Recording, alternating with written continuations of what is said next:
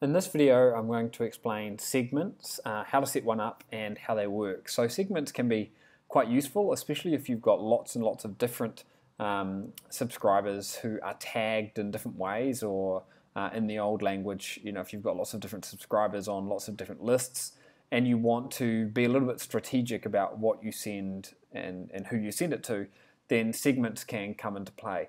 Now, segments are just a way to streamline the way that you're using your tags essentially. So you might have 100 different lists and you might want to uh, send out to 77 of them and instead of having to come in each time and individually select each tag to send to, you could just have them in a pre-built segment and it will uh, streamline everything that you're doing.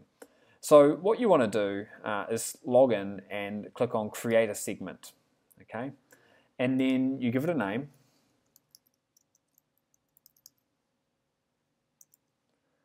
and uh, then you need to select who you want to be in that segment. So normally what you'll do is you'll say it's someone that's subscribed to a tag and then you can select the tag.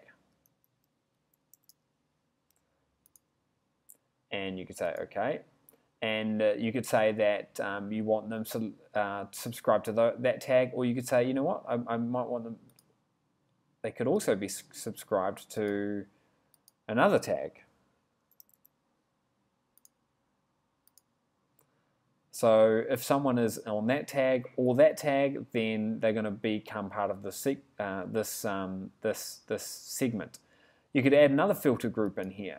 Now in this filter group, you might say the segment is to contain this tag and this tag, but must not contain anyone who is subscribed to some other um, tag, okay?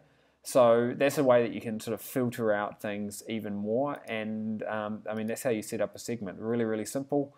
Um, again, it's designed to be used to streamline the sending of your messages. And you would just click save. Oops, I need to delete that there. And then you click save, and the segment has been uh, created